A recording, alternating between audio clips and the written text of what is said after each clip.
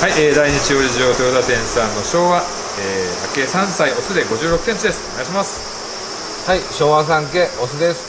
えー、まあ、まだあの炭の方はまだあの影済みですが、えー、非常に、えー、紅の方も、えー、縦声的な色をしていてまた艶もあります。そして、えー、この声の一番いいところはこの体つきが非常に魅力的だと思います。えー、開口もありそしてあの皮の厚い感じの、えー、白地の質のよくなりそうな、えー、肌の感じをしています。はい。はいそれでは横の方も行きましょう。はい。まあ炭はねまだ本当影ですけど、えー、結構艶のある炭をしています。はい。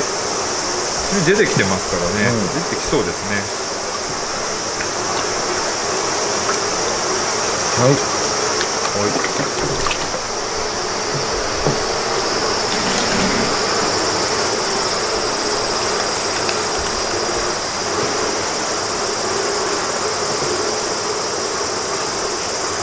非常にあの伸びやかな体型をしています。